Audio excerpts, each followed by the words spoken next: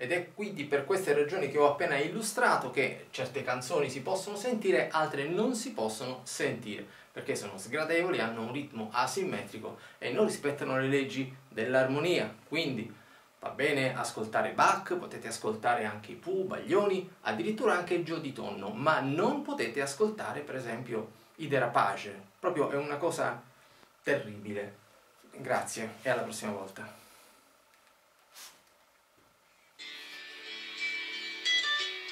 Oh, Maurizio, Maurizio, dimmi, dimmi, dimmi, grande chitarrista, grande, grande. Sei un grandissimo, dimmi, dimmi, dimmi. Cosa?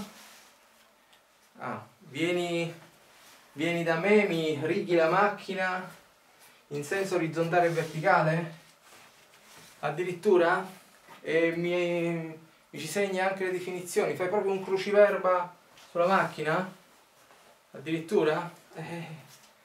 E allora, sì, sì, aspetta un secondo, aspetta un secondo che finisco una cosa che stavo facendo, scusa, eh? Grazie. Eh, potete ascoltare anche Derapage. Io ti amo perché sei una scimmia di mare, fai cacare, ma va, va,